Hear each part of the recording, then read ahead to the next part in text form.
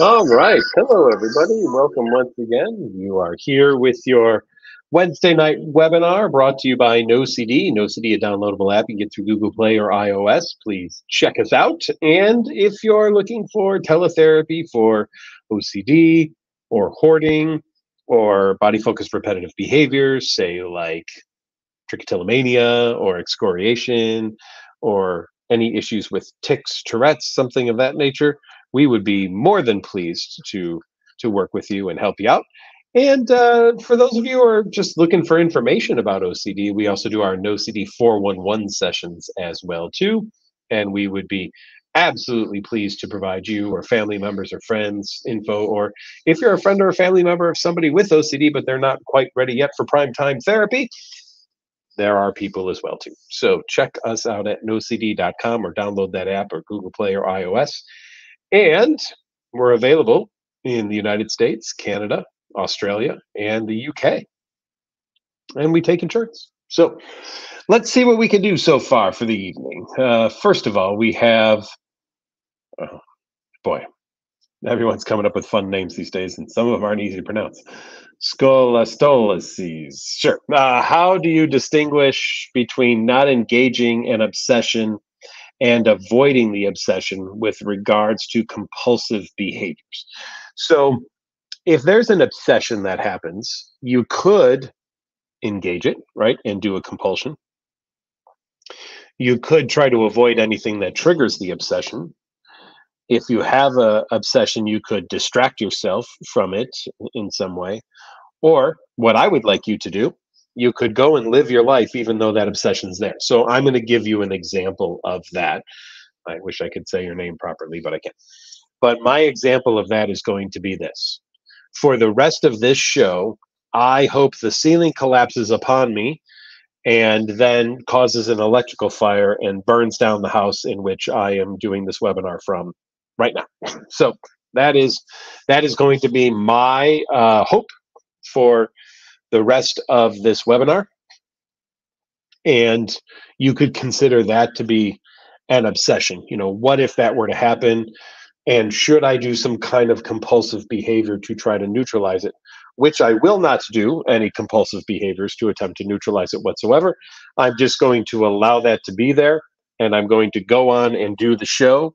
And um, we'll, we'll remind each other now and then as we get closer to the end and we'll see if the collapse has actually occurred or not uh, on, on, the, uh, on the live program that's what I would say about living your life with an obsession, right? I'm not engaging in the obsession. I'm not doing anything to try to debate it. I'm not trying to make it go away. I'm absolutely welcoming it to be there. It is fine that the thought about the ceiling collapsing on me and an electrical fire starting in the house I am in right now um, is there. It, it doesn't interfere at all with my doing the show. And I'm going to keep doing the show uh, all the way through. Okay. And I'm also not avoiding it by trying to not tell anybody about it or not or, or do any kind of distraction.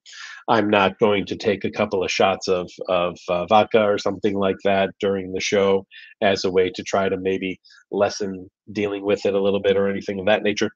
I'm not going to do any of that. I'm going to just allow for that whole thing to be there and learn that I can absolutely, absolutely handle it Okay. So that's what we're that's what we're going to work on. All right. How do you overcome shame when dealing with harm OCD? I wonder what there is to feel shame about. Now, OCD says there is shame in thoughts, right? You should feel shameful for thoughts and images and urges. But it is kind of interesting that you're having those thoughts and images and urges repeated because of OCD, right? Because of one of the messages that OCD loves to send to people, which is, hey, remember, don't think about whatever. Don't think about the ceiling collapsing on you during the show. Still haven't died yet, but we've We've got 54 minutes to go, so we'll we'll see what happens. Um, and there's a a lot of well, heck, everybody in the world experiences intrusive thoughts, right? So, should all of us experience an intrusive thought when that thought involves harm, right? Because because I've driven over bridges and thought, what if I just turn the wheel really hard and throw the car off the bridge and everybody in it goes flying into the river and drowns and does all those kinds of things? Or I've treated so many people now with with harm OCD that if I'm driving and there's people crossing the street, I in my head can't help but assign a point value to them uh, as if if I ran them over they would be worth, you know, 40 50 points something of that nature. And I promise any of you if you're at the OCD Foundation conference and you're talking to me and we're on a staircase or an escalator, I will think about throwing you down the stairs because I've treated so many people who are afraid of what if they were to do that, that I can't take stairs or escalators anymore without thinking about that. So, uh, Cold Kaya, I'm wondering how much shame I should be feeling for having those thoughts and those images and those urges. Or is it is it just okay that I have them and I don't have to actually worry so much about them? Right? OCD uses emotions against us.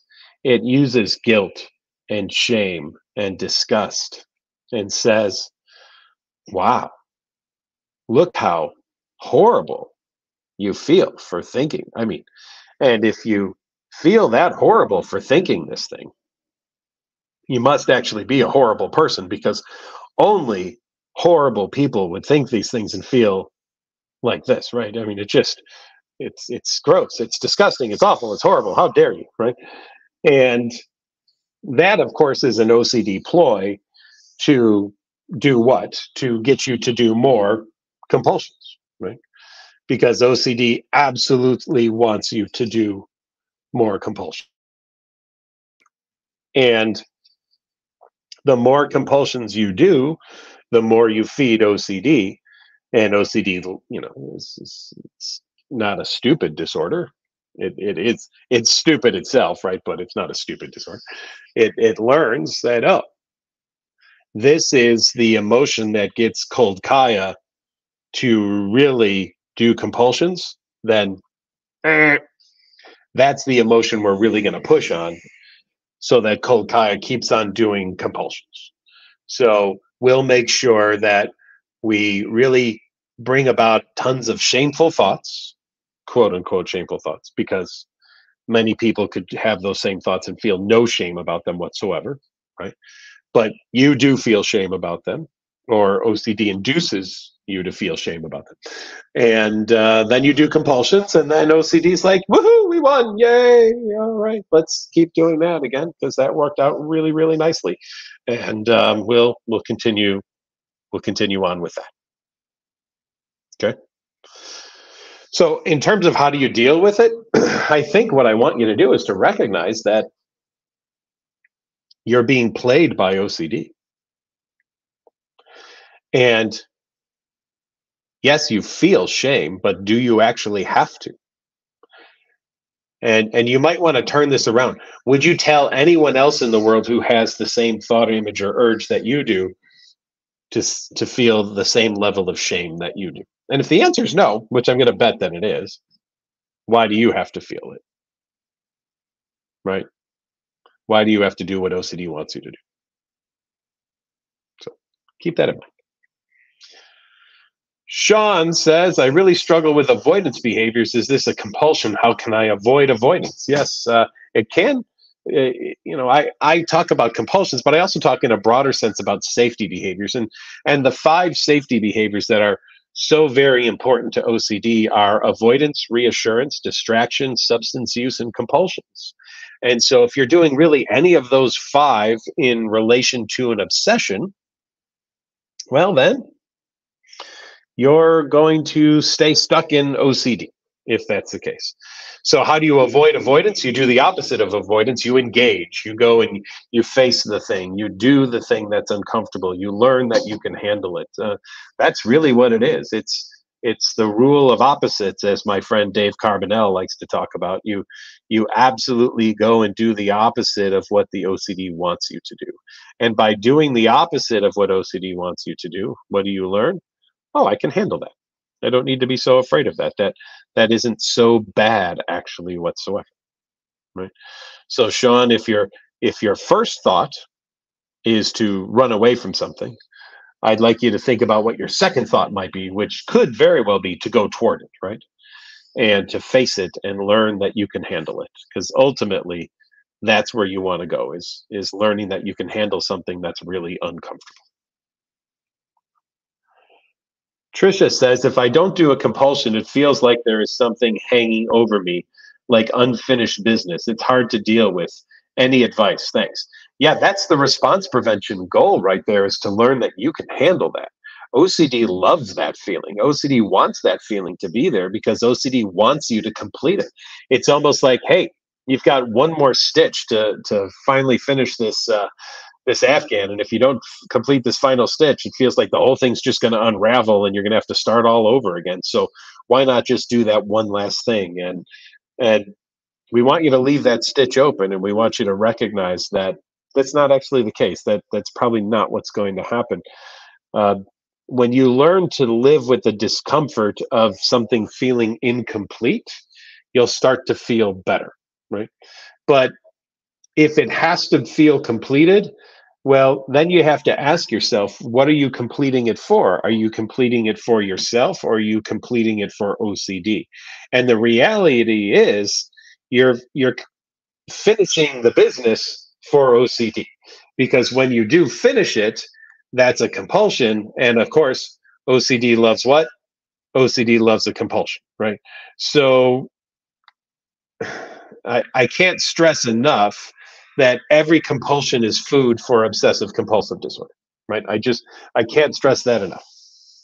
If you if you want to feed OCD, do compulsions. And if you want to starve OCD, stop doing compulsion compulsions. That's where the term NoCD came from, actually, right? No compulsive disorder, right? Stop doing compulsions because it turns out compulsions are the things that maintain the problem.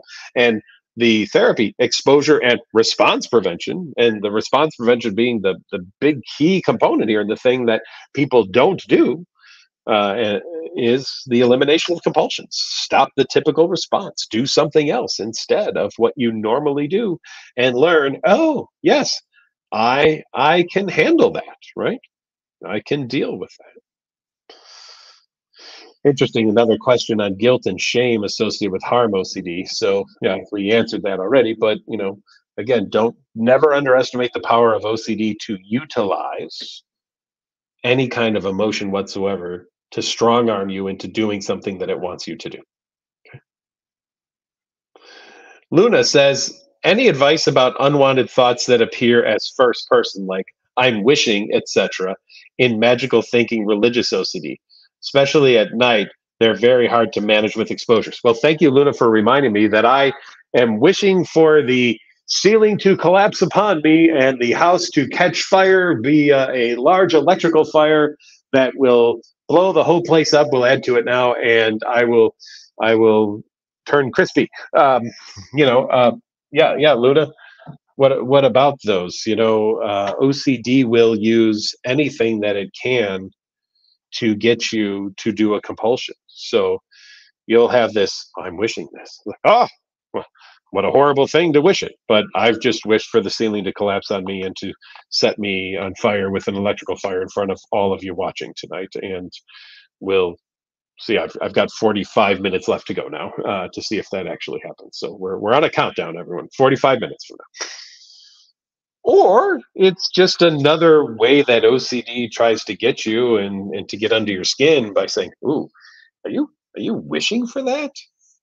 Why? I mean, what a what an awful, terrible, horrible person you are for wishing for that. I mean, geez, who does that? I mean, what kind of person are you that you would wish for something to happen to people? My gosh, you better do a compulsion, or else you know everyone's going to think how awful, horrible you. People are going to know your thoughts and your images and your urges, or or you might just go do it because now you've put the word wish on it, and, and that might make it even happen more, right? So, boy, you better do that compulsion. and and it's just all OCD trickery, garbage again, where it's trying to get you to do what it wants you to do, and and everyone, what does it want you to do? It wants you to do a compulsion, and and boy, when you do a compulsion, OCD sure loves you and says, "Oh, you know what, Luna? Thank you. That was that was so nice of you to do that compulsion, and and in fact, it was so nice of you to do it that I'm going to have you do another one because now you're wishing for this, and then you have to do it all over again, and again, and again, and again, and blah, right? Or we say, all right, I'm wishing for the ceiling to collapse on me and for the house to burn down in a huge electrical fire in front of all of you and as I burn away. And uh, if it doesn't happen in 43 minutes, maybe we'll all recognize that my thoughts don't make things happen. But you might say, ah, maybe this time. But what if, what if the next time it does? And I will I will take the same bet next time and the time after that and the time after that and the time after that and the time after that. Because uh, so far, this house has stood for almost 100 years now. And, uh, you know, I'm, I'm willing to take that bet. Do I have a guarantee? Nope. Will I ever? Nope. Do I have to have one to function and survive and live my life? Nope. Does OCD tell you you have to have one in order to function and live your life? Yep. And that's where OCD is a jerk because OCD says to you, no way to function without a guarantee. But not in your whole life, just in these one, two, three little areas. Everything else, totally fine if you have no guarantee. No worries, no issue whatsoever. And all those other, but this ooh, this one, this one requires a guarantee, and I must, must have that guarantee on this. What a jerk OCD is, if that's the case, right? What an absolute jerk. Janelle says existential OCD, getting really anxious because your mind is questioning reality and having fears that people around you are not real. Your psychologist or psychiatrist said it could be psychosis OCD. Therapist does not. Uh, any tips?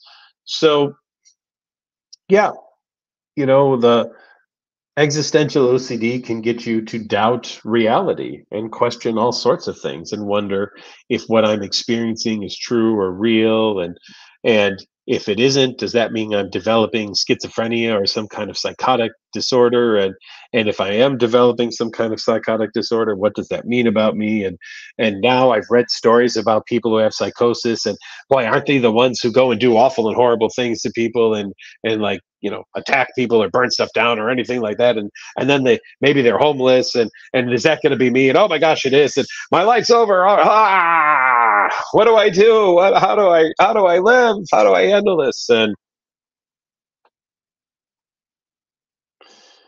can anyone share with me? Uh, please put it in the uh, in the comments. Can anyone share with me a happy ending story that OCD has drawn up for you? Because so far, no one's ever walked in my office and said, Dr. McGrath, I'm afraid everybody loves me and thinks I'm awesome. I've treated nobody for that whatsoever. I'm, I'm still waiting, uh, but it, I, I just don't think it's going to happen in my career at all, that, that that's the way that it is going to go.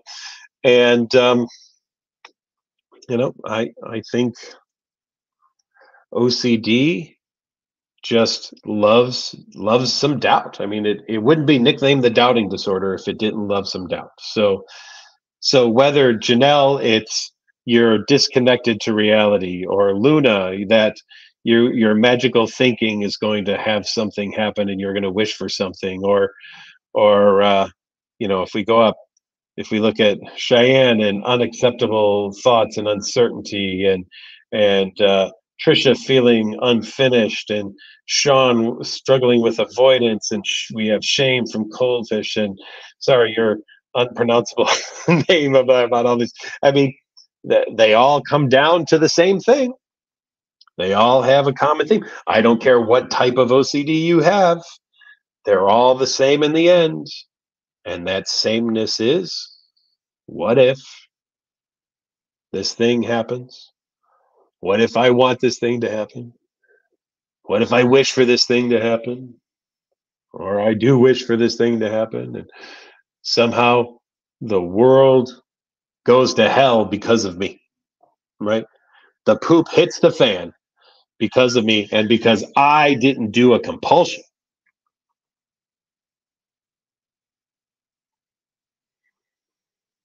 Well, I say this with all sincerity. I am not being sarcastic here.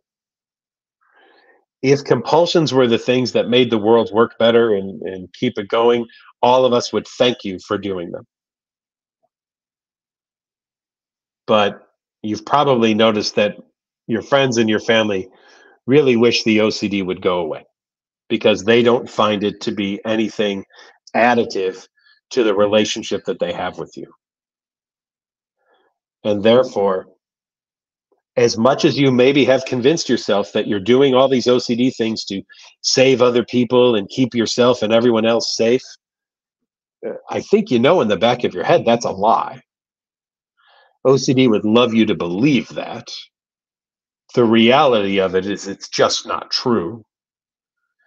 Because if it was true, and I've said this before and I'll say it again. If it was true, my job would be to give OCD to people. It would be to go up to people who look like they're having a rough day and say, you know, looks like you're having a bit of a hard day. Have you considered some OCD? Might help you through this experience, might make things better. And any of you with OCD watching this right now are like, please don't do that. Please, please, right? But all of you hold on to a belief that that I talk about a lot in the talks that I do, this notion of specialness. The rules of the world, though, apply to me differently than they do to everybody else. And it's fine if everybody else feels this way or thinks this thing, but it's not okay if I do. It works different for me than it does for everybody else. Another lie that you've fallen for. OCD has pulled the wool over your eyes. You're you're so afraid of all the things that pop in your head and wondering what if they're true. But I'm going to give you a different what if to think about. What if OCD wasn't true?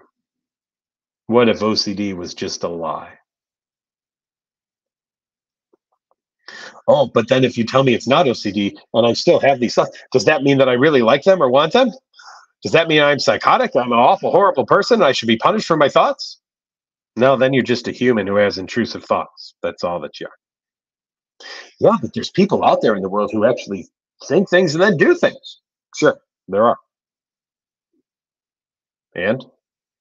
Well, what if I become one of those people? We all could become one of those people at some point. It, it's a possibility. It is absolutely a possibility. We could all become one of those people. Likelihood, amazingly small, but a possibility. And part of living life is just living knowing that there are possibilities that things could happen. And uh, we, we deal with that. We accept that. Yeah. I have no guarantee when I get in the car, the next time I get in the car, that I'll live or die. I have no guarantee that maybe even the butterfly effect, right? What if I wave my hand now, which causes a breeze, which is enough to add to the breeze outside, which is enough to eventually uh, catch onto a storm and, and is just enough that causes the tornado to form and wipe out an entire community in rural America. And it's all because I did that and made a little bit of a breeze. It sounds ridiculous when you say it out loud, but OCD goes, hmm, that deserves about 78 hours of thought there. Um, let's consider that. Yes, maybe, maybe we should restrict all of our movement to make sure that no breeze is caused by us, so it could never butterfly affect any tornadoes that could occur in middle America. Boy, that McGrath guy is really smart because now he's helped me to prevent danger from happening to people. Please keep moving. In fact, everybody watching this, just start doing this. Make some breeze. All right, good. Uh, plus, I'm fanning the potential flames that occur when the ceiling collapses on me, and there's flames all around from the electrical fire that now is uh, 34 minutes away. Potentially. We'll see. Nicole says, Thanks for always doing these lives. Happy to do them. You've done ERP for 18 months and have seen a huge improvement. Wonderful. All your numbers are great. Awesome. Your main theme is was uh, psychosis OCD. Well, just what we are talking about. Look at that. You're just curious about some things that uh, uptick now that your treatment is reduced and your OCD is calm. You're not really bothered by it, just more curious. You're asking here because if your question can help someone else, you're in for it. Good. You've had an increase in brain zaps and sleep hallucinations, both falling asleep and waking up. Is there a correlation with the theme and these experiences? Uh, I've never heard of a correlation uh, on that whatsoever. Just so you, you haven't been on meds for OCD, so you never understood why I got brain zaps. I don't really know what brain zaps are, but I'd be fascinated to find out. Uh, can anything be done uh, for these experiences, or is it just ride the wave type of thing? So I don't really know what a brain zap is, and I bet everybody I asked would give me a little bit different kind of description of it whatsoever. Could be a panicky kind of feeling or something of that nature, or just something that feels uncomfortable to you. Uh, I would say, you know, if you've talked to a medical person about it and they have no no concern about it whatsoever, then we can move on and probably just take a look at the fact that uh, this might just be one of the ways that you experience anxiety, and therefore we can probably move on from it. Jen how are you? Can I talk about why self compassion is so important to the process? Well, if our friend Kim Quinlan was here, hi Kim, if you're listening, she would give you lots of lectures on this with many exclamation points as well. But if if you think about this notion that you are a bad person and you deserve punishment, OCD is going to really pick up on that and go, mm, yeah, you know only bad people think these kinds of things and geez what a what a really horrible bad person you are for even having some of these thoughts. And so um, why would we want some self-compassion? Because we want to allow ourselves the the grace to recognize that hey every single human being experiences wacky thoughts wacky images wacky urges and that that is a normal natural human experience. Ocd doesn't like my definition being a normal natural human experience. Ocd wants it to be awful and horrible and just self-blaming right? Because ocd's belief is you can punish yourself out of thinking something. So it reminds me of one of my favorite phrases uh, that that is in, in one of those funny motivational posters. The beatings will stop when morale improves. And that that would be a slogan that OCD would love, right? Hey, we'll stop beating you up so much when you get better. You think that that's going to make things better by ripping everybody down and tearing everybody apart? Well, we know from research it doesn't actually. And so all it does is actually make things worse. So OCD is using a guaranteed method to make things worse. Never better. And I hope that you would allow yourself some self compassion. I hope that you would allow yourself some grace in recognizing that you are a human being who experiences intrusive thoughts, images, and urges just like the rest of us do. But that you have a condition that also leads you to believe something about those that most other people do not, do not, which is that they actually have meaning and importance and are threatening and bad and awful and horrible versus the rest of people who go, well, that was weird, and move on. We are halfway through our very fun Wednesday webinar as we do on Wednesday evenings. Great to be here with all of you. This is the NoCD Wednesday night webinar, and NoCD is a downloadable app you can get through Google Play or iOS. Check us out.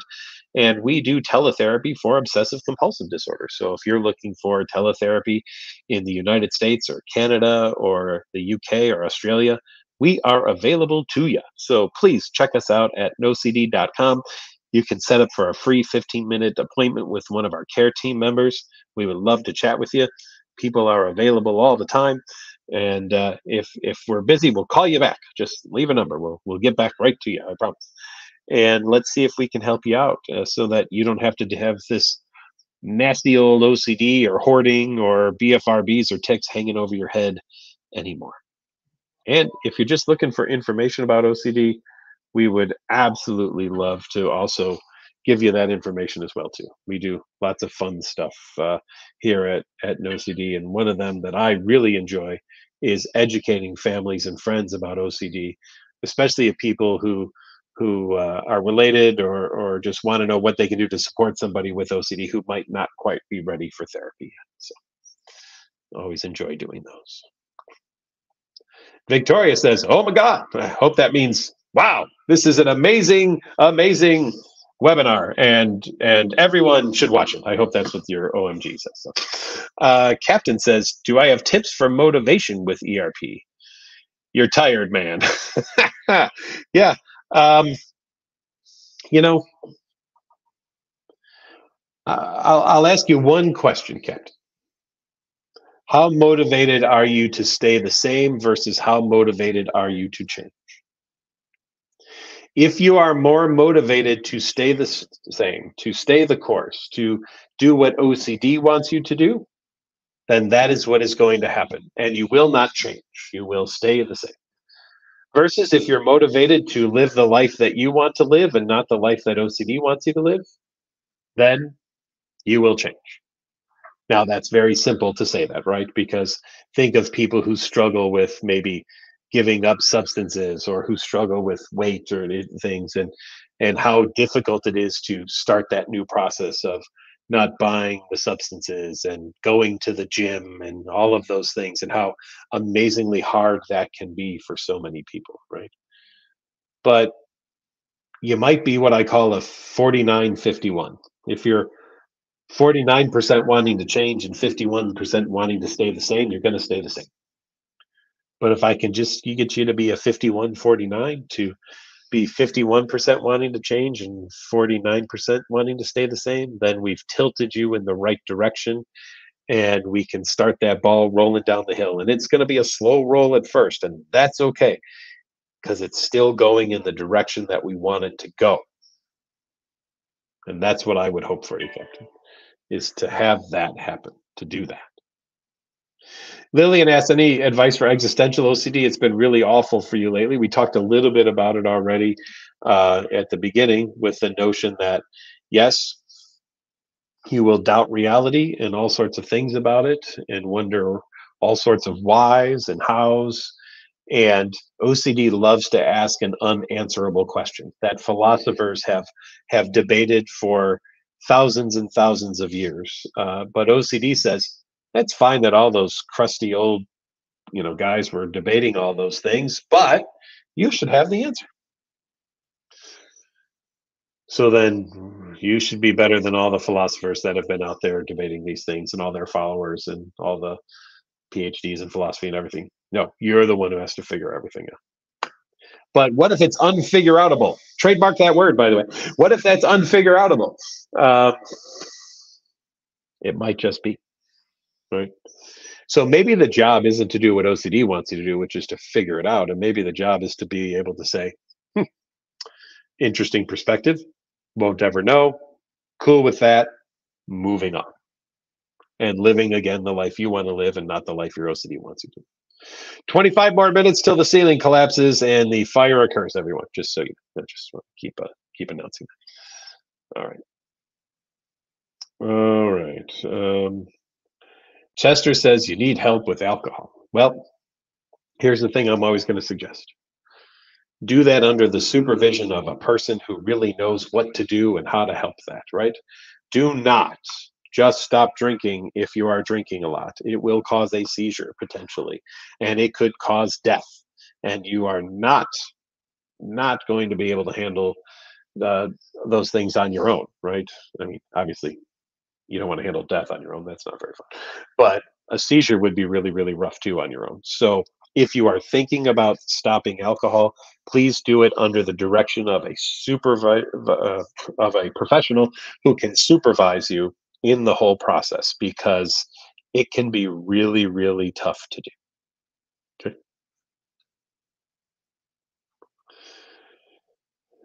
Jenna Liz says, I have relationship OCD. What are some ERP exercises that I can do? First of all, it's going to really involve your partner as well too. And it's probably going to involve you having a discussion with your partner and you two setting up a worry journal. And this is one of my favorite exercises to give to people. Consider doing this. Get a notebook, write the title worry journal on it, I always call it worry. It could be obsession journal, whatever, but I, I've just always called it a worry journal for 20 years now. And anytime you ask your partner a question about your relationship that you've already asked already, your partner is to write that question down and then write down the answer. And if you ever ask it again, they just point to the worry journal and say, That's in the journal. We are no longer discussing that question because you already have the answer. Now, you might say, Well, isn't the journal then going to become a compulsion? uh, maybe for a day, but you're going to memorize everything that's in the journal, and then you're never going to look at the journal again, and so you're just going to get frustrated. Well, at least your OCD is going to get frustrated. Like, no, no, but I really, I would need to ask you. I, I, I, I thought of a different angle of the question or a new way to think about it. Or something. It's in the journal. Where we're not going down there. The more that you and your partner discuss things about your relationship, the harder your relationship becomes for you. I'm sure you've noticed that over time. For any of you with relationship OCD, have any of you ever asked enough questions and gotten to the point of, oh, you know what? Well, wow, look at that. I've now asked all the questions. I have all the answers. hey, hey, hon, we're good. We're good now. Our relationship's awesome. It's great. Look, no, no more, no more doubts, no more questions. We've we've asked all the questions. We've gotten all the answers. Congratulations. Now let's go celebrate our relationship. Well, you may feel better about that, but I'm going to guarantee the person you've asked all these questions to is going to be like, really? 17 years of asking me questions and doubting me, and now suddenly everything's great? No. Mm-mm. Don't work that way. Right? So just just uh just kind of recognize the fact that in relationship OCD, your relationship never wins because it always loses out to another person's or the idea of another person's, right? And um, I always love the notion of never winning something. Like, imagine if I opened a university and said to you, Liz, welcome to McGrath University. Keep coming to class. You'll never graduate, just so you know. No one ever does. No one ever will. But keep coming anyway. Keep trying. But you're never going. Right? You'd be like, this university sucks. I'm out of it. But when it's OCD, you're like, ooh, more questions? Oh, okay. Yeah, let, us let's, let's do it. You know, because obviously it's going to lead to something. And I'm telling you, it leads to nothing. It is Charlie Brown and Lucy, and Lucy holding the football, and no matter how time many times he runs at it, bam, she pulls the football up. He goes flying through the air and lands on his back, screaming, "Ah!" Boom, and then says, "Rats!" Every single time. And that's what OCD does to you every single time. Vanessa says, How do you decipher what should be an actual anxiety or something that is an intrusive thought? I'm afraid that I'll label something as intrusive and then something bad will happen. That's an OCD question right there that you would even have to figure out how to label anything like that. People without OCD don't care. They just experience these things and are like, all right, that was weird. And then they move on. They don't sit there and go, now, I wonder if that was an anxious thought or if that was an intrusive thought. Let me pare that down now and see. Hmm. What would make it intrusive versus what would make me anxious about that? Well, here's the list of the pros and cons of it being anxious, and here's the list of the pros and cons being intrusive. And uh, wow, there's a lot to take there. I'll need another 78 hours to think about this. And OCD's like, oh, that's awesome. We love another 78 hours of thought about this. This would be absolutely wonderful. Yes, let's do that. Let's let's absolutely do that. Let's go for another 78 hours. How how great is that? So Vanessa, maybe the uh, the actual issue here is if something is dangerous and activates your fight, flight, or freeze response, you're not going to think about it. You're just going to do one of a couple of things, right? You're going to fight, flight, or freeze. And that's what you're going to do. But what happens in OCD, yeah, there's that activation there slightly, but there's also other things like guilt and shame and disgust, right?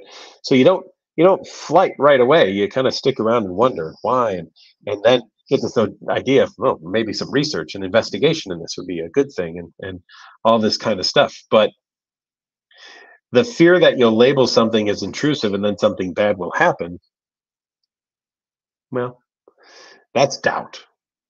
And what does OCD love? Doubt. OCD is now going to get you to wonder, yeah, what if I what if I dismiss something as OCD, but it's really actually dangerous? And then the bad thing happens. And now because I dismissed it as as intrusive, but it was really dangerous, it's my fault that it happened. Boy, does OCD love something like that. I mean, that is just a classic OCD thought right there that it's going to go to.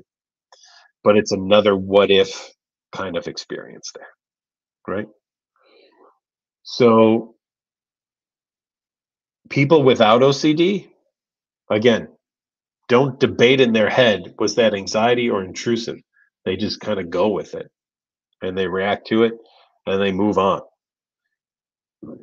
It's the extra thinking and researching and everything in OCD that happens that really leads us to know where OCD is. And this question is therefore an absolutely OCD based question versus what everyone else who wouldn't have OCD would be experiencing.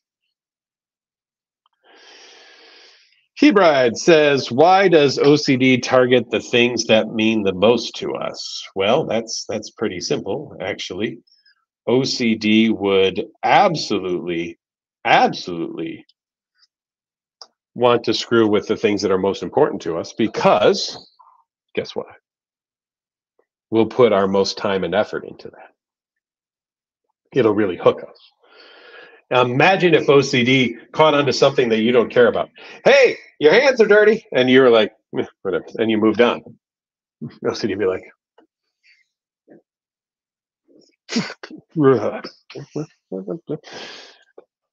hey, you might have run a child over. Wow! Holy moly! Jeez! Oh, turn around, turn around, go back, go back, go back, go back. Oh, hurting children appears to be something you're passionate about. Hmm. What if you actually wanted to hurt a child? Maybe you do. Why would you have thought about it if you don't really want to?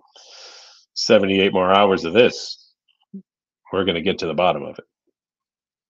That's why. If OCD cared about things that you don't care about, OCD doesn't exist. OCD has to care about things you care about because, well, that's what you're going to give the most attention to.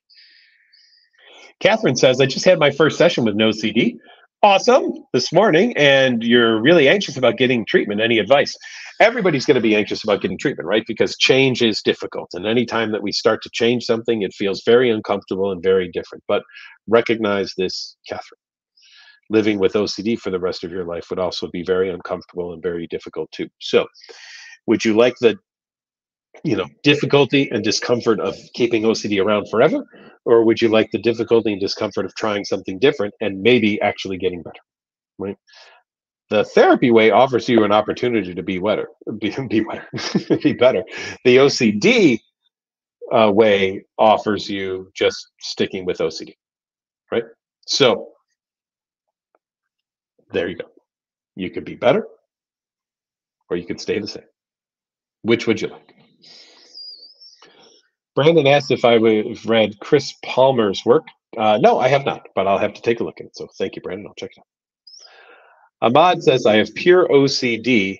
As far as I know, your approach to trying to, as, so as far as I know, your approach trying to stop the compulsions, um, and then an exclamation point. So Uh, I don't see anything else, so I, I, don't have anything else to say now. Sorry. Eva says, what are some mental compulsions and or uncommon compulsions that tend to go unnoticed?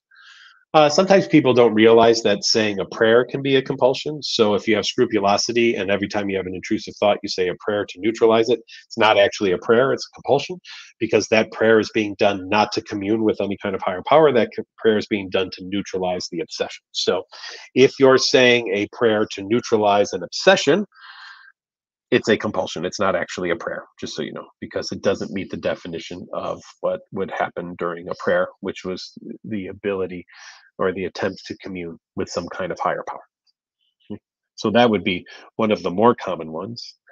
And I would just uh, even watch, you know, do you drive one way because if you drive another way, there's a trigger there. So you always just take one route instead of going the other route. Even if the other route's faster, you always go that other way to avoid some kind of trigger or something like that. Or uh, just all those subtle safety behaviors. Any kind of avoidance, reassurance, distraction is is there. Um, are you are you without knowing it using more substances on certain days when you're stressed so maybe there's a substance use that's going on and uh, you know all those different kinds of compulsions that happen so really keep an eye out eva for all of the various subtle safety behaviors that could be occurring uh, just so you all know we are now 13 minutes away from the ceiling collapsing on me and the house burning down just so you know. food high says when i was younger i used to have uh, set up your room in a certain way before you went to sleep every night was that another form of OCD or not? Could be. I mean, if you have OCD now, that might have been one of your first manifestations of things had to be in a certain order, or else you felt that you wouldn't be able to sleep if they weren't. And so it had to be just right or perfect. So that could be a sign of just right OCD. Absolutely. Catherine says, Does anyone else have contamination OCD in specific related to being allergic? I'm going to bet there's lots of people that are going to reply to that there. Uh, Timur says, What are some exposures for obsessions about intrusive thoughts while high? Well, you know, there's a couple of things maybe to talk about here. First of all, sometimes people think using marijuana or other things that get them high will be helpful but I've also met a lot of people who can attribute their first experiences in OCD and intrusive thoughts to their first usage of some kind of chemicals that they were using. So I never recommend the use of, of uh, un, prescribed chemicals as a way to kind of help manage anxiety or stress because I've seen just way too many people who took it hoping that it would help them with stress actually cause them to have uh, some quite paranoid types of thoughts or feelings, and that led to uh, other difficulties, one being obsessive compulsive disorder in some folks that were very, very hard to handle. So, uh, if you're noticing that you're only getting intrusive thoughts while high, then I would maybe suggest let's work on not getting high, and then you won't have those intrusive thoughts, right? Because uh, why would you do something that's going to contribute to more intrusive thoughts instead of less? So, Timur, that would be some things just to think about. Caitlin says, just want to share a strange win. Okay, found out at 32 you really am a compulsive you really are a compulsive hand washer. Denial is interesting.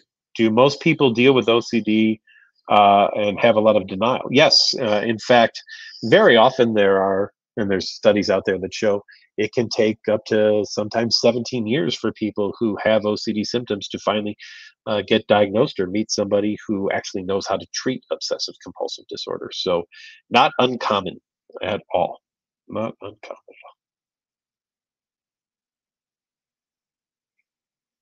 Michaela, your eight-year-old has your first session tomorrow. Mostly contamination OCD. Michaela, all the best to you. We we wish everything awesome to you and your eight-year-old, and uh, and be a part of that, Michaela, because you're going to play a role also in helping them deal with their anxiety as they navigate not doing their compulsions. Right. Remember, those compulsions feel good in the moment, but in the long run, don't do much for us. But they do feel good in the moment. So asking somebody not to do it does mean that we're asking them to live with some discomfort for a bit. Lolly says, Hi, Doc. I had a question about new thoughts constantly popping in your head, such as saying things like, I don't mean, and they're not just what ifs, and they're more like things you say in your mind and you get fear from them. Kind of like my statement the ceiling's going to collapse on me by the end of the show, which will be in nine and a half minutes now, and there will be a massive electrical fire that will happen, and I will burn in the fire. Like that, Lolly? Maybe? Where I just make things up and say them in my head, or hey, within the next nine minutes, I could also run across the street with a Molotov cocktail and throw it at my neighbor Dave's house then go into the middle of the street, poop in a bag, light it on fire, put it in front of my neighbor Josh's house, ring the doorbell. He comes out, sees the fire, stomps on it. He gets flaming poop on his shoe. I laugh at him. And then I shoot a few geese that are flying over my house that are going to the pond behind my house. And then I come back and I finish the webinar. Would those be the kinds of wacky, interesting thoughts that pop into your head uh, that you're talking about there that are not what if thoughts? Uh, that I'm just thinking about doing and would those be things that now that I've thought them, you believe, Lolly, that I should do something about it or the authority should be called on me just to make sure that I do not actually go and do those things? Or, for all of us, are we willing just to accept the fact that wacky things pop into our heads now and then and we can live with that we can deal with that we can handle that and we don't have to do anything about it whatsoever ocd says that's not true. You can't live with it. You can't deal with it. You must do something about it because if you don't and it happens, it's your fault because you didn't do the thing to stop making it happen. And I don't want you to listen to OCD because OCD is a stupid liar. I want you to listen to everything but OCD. I want you to challenge things and recognize that you can handle stuff far better than you've ever given yourself credit. Santi says, does real event OCD skew the event that took place? How can I move on from the past mistake, even though I feel horrible?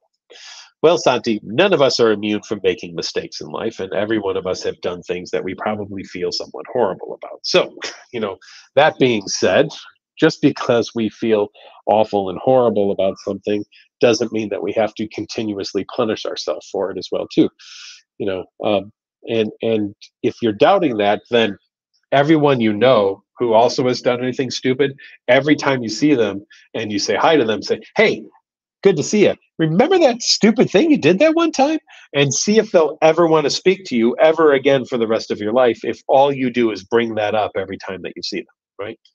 Now, the answer will be no. They will want nothing to do with you whatsoever. They're like, that damn Santi just drives me crazy with reminding me all the shit that I did in my life, and I want nothing to do with it whatsoever. And I'm just done talking to Santi because I don't want to be reminded of that stuff all the time. Yeah, I did some dumb stuff. Yeah, I paid the price for it. Yeah, I made some mistakes. Yes, I've apologized for some things. You're there's still some things I maybe do need to apologize for. You know what I don't need? Constant reminder of it. Heck with Santi, I'm done. That's probably what would happen if your friends were to interact with you and you were reminding them of every bad thing that ever happened. So I'm wondering, Santi, why do you need to be constantly reminded of it? Why do you need to be constantly beaten up over the thing? Or do you? You don't, right? OCD tells you you do. But if we took OCD's advice on things, well, we'd all be pretty screwed, frankly, if if that was the case. So let's not take the advice of OCD because you know it's just it's it's a moron and we're not going to listen to anything that it says. Catherine asked, what causes OCD? Well, we know there's a mix of gen- genetics and also environmental factors that happen as well too, and um, you know, depending on each person's genetic load toward having or not having OCD and the environmental factors that happen in their life, you may or may not get obsessive compulsive disorder. Samia says, How can you handle the fear without the thoughts? It's too scary to feel. Um, I'm wondering what you mean by that. How can you handle the fear without the thoughts? Uh, or unless the thoughts are things that you do to neutralize the fear. So, Sami, I'm wondering if you've ever done virtual reality and you know there's a cliff in front of you and though you know that you're on the ground you it's very hard to take the step off that cliff because it sure looks like you're going to fall right? But you logically absolutely logically know that you are not going to fall because you are you are solidly on the ground. And eventually you take up the courage and you you take the step and now you're floating in the air. Or you could be falling too right? But you're not actually falling but it looks like you're falling. Right? What if OCD was like that? What if OCD was kind of a virtual reality that told you all of this stuff and all of these things and how bad everything was when in reality it's it's nothing like that whatsoever but it's tricked you into believing it to be that way and and ocd uses a lot of trickery frankly um, and and i'd like you to work on not believing ocd because uh, ocd does not have your best interest at heart. Ocd wants you to do one thing and that is to do compulsions and and if it gets you to do them and it causes great enough fear that it leads you to doing compulsions it's won it's done exactly what it wants. And you say yeah but i can't handle the fear. And i don't believe that for a second that you can't handle the fear. I, I 100% believe that you can handle the fear. You have to recognize something though and, and i mean this very sincerely to everybody listen you can only be brave by first feeling afraid Samia, I want you to be brave. I already know that you're afraid. But now it's time to be brave and to recognize that the fear that you're experiencing is a mirage thrown up at you by obsessive compulsive disorder.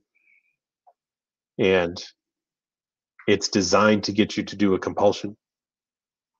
But the reality turns out to be you don't you don't actually have to pay any attention to it whatsoever. It's just simply not true. Marissa says, "Can I touch on health anxiety and OCD? Constantly super aware of all sensations." Yes, uh, and Marissa, of course, there's there's absolutely no way whatsoever to get you to um, think otherwise in in many ways, right? I mean, you you're going to keep checking and every time you check you're going to find something that feels like um, that feels like it shouldn't be there right and and that's just the way health anxiety based ocd is that nothing ever feels just exactly right. I mean you know even if i think about different body parts now my my shin my leg or my my hand you know i've got you know getting older get a little arthritis not quite right. I mean how much how much time should i spend you know we've used seven eight hours tonight so maybe another seven eight hours of thinking about why my finger doesn't quite bend as well as all the other ones do stupid arthritis.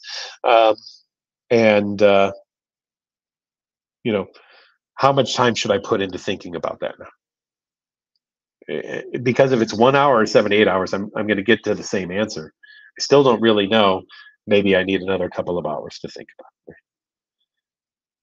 I'm going to accept the fact that I have arthritis and that it's going to probably get worse over time. And as long as it doesn't affect my golf game, I'm happy. But uh, although it's not that great anyway, so at least it gives me the chance to blame something. Um, but I'm I'm never with health anxiety going to feel 100% awesome. But frankly, I don't have health anxiety and I also don't feel 100% awesome either.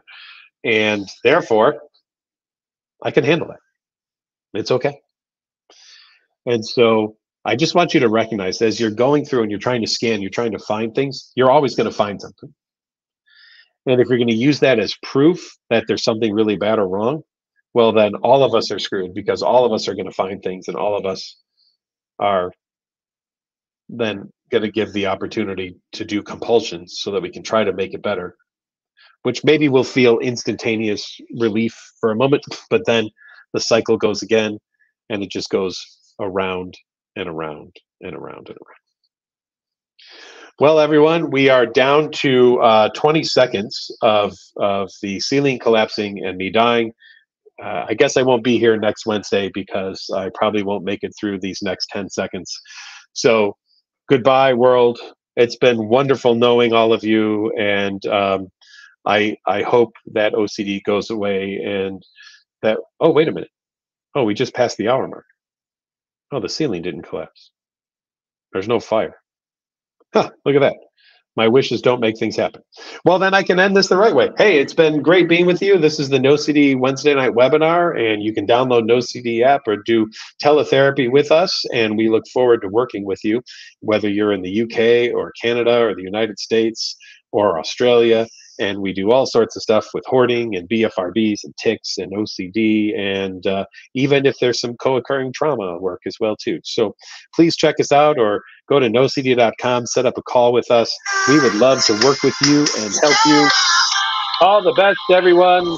Your OCD sucks. I hate it, and I'm going to do everything I can to make it go away. Just so you know. So be well, everybody, and. Um, Maybe next week the ceiling will collapse on me. Who knows? We'll, we'll see how it goes. Talk to you all later. Bye.